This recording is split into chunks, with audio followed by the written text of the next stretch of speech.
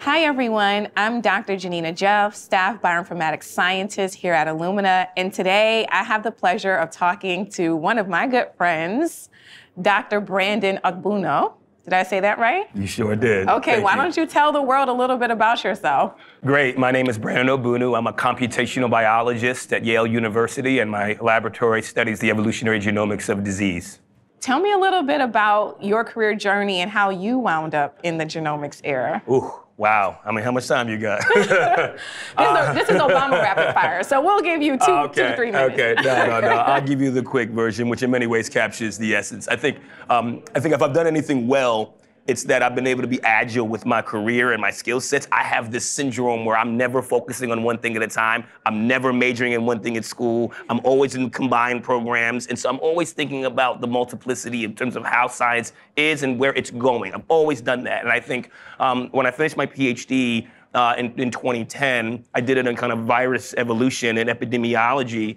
But I was thinking to myself, okay, well, what, what's actually what's going? What's the next thing?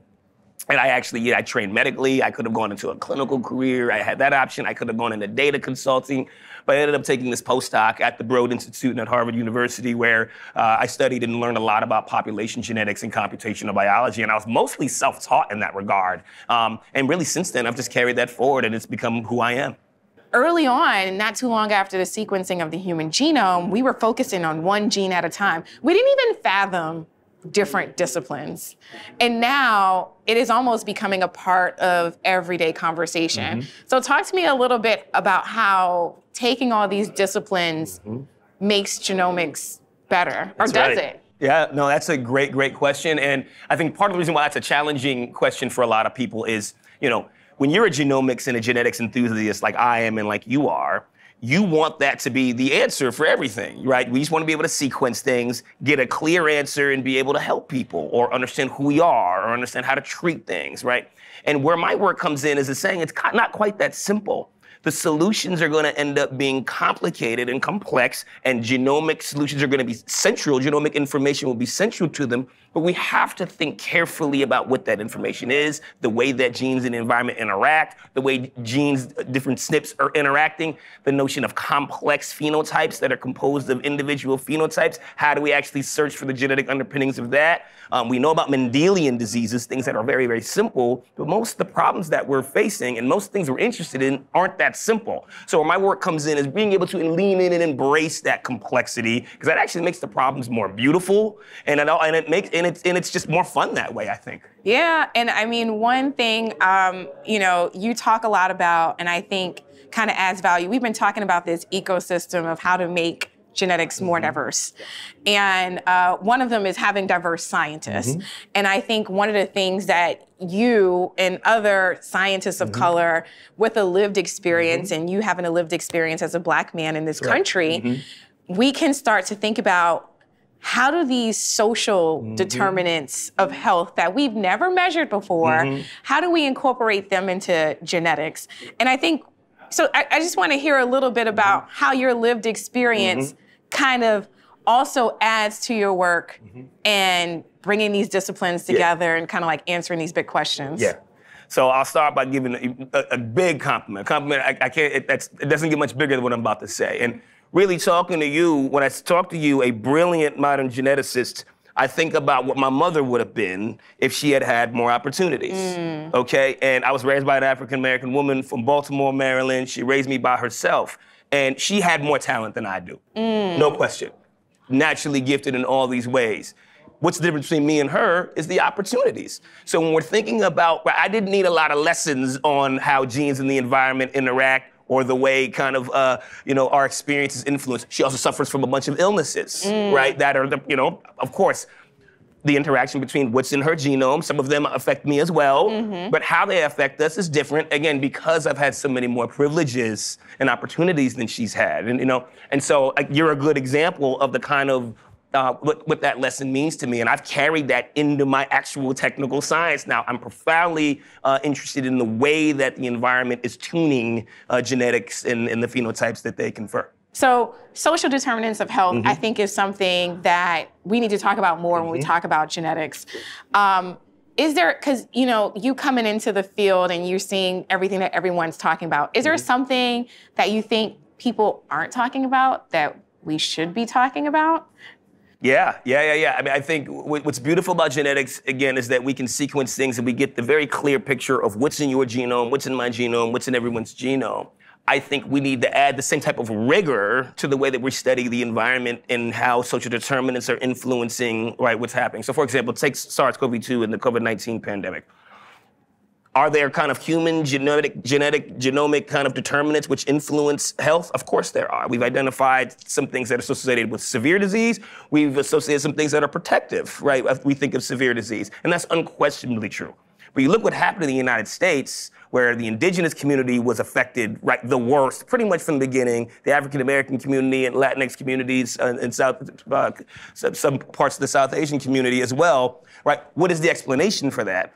Well, there hasn't been a genomic smoking gun there. Now, is, is genetics at work in that in that phenotype and of that outcome? Of course it is. But what we're learning is that it is a lot of these structural things about how people live together, the type of jobs that they have, what they have access to, the way they're treated at the bedside. All of these things are forces that end up dictating, right, who ends up severely ill um, and who isn't. And I think right? The true future of this is going to be in the integration of the modern genomic technology, which me and you use and love, and these other disciplines that offer insight into how people are living. yeah okay so i have one last big picture question all right Go for it.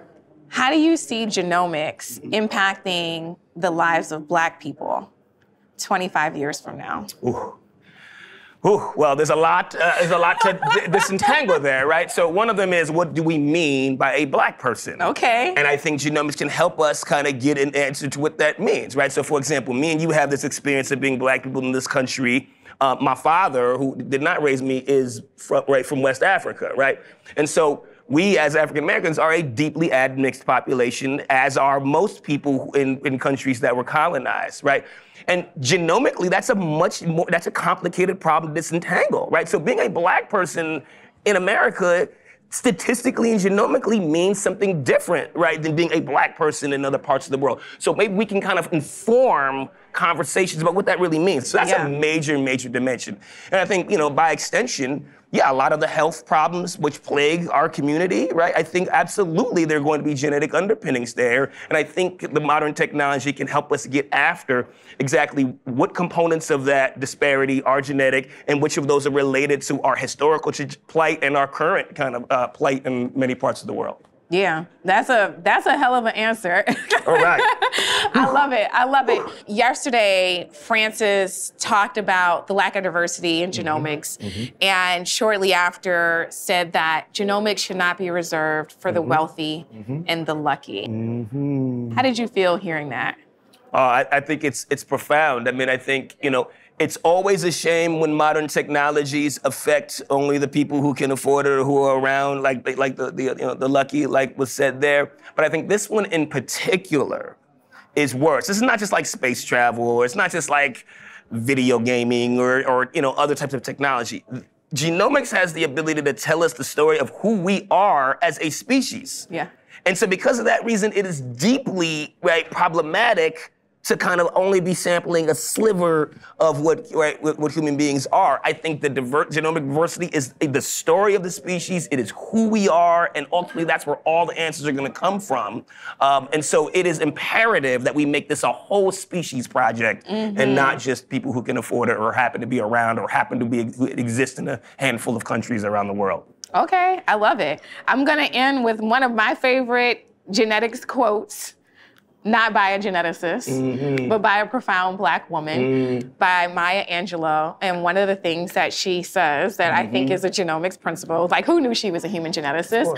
Um, we are more alike, my friends, than we are unalike. And when I think about the genome, I think about the things that we're learning really is we're one species. And we have this opportunity to use genomics to celebrate our differences and to create community around the things that we share.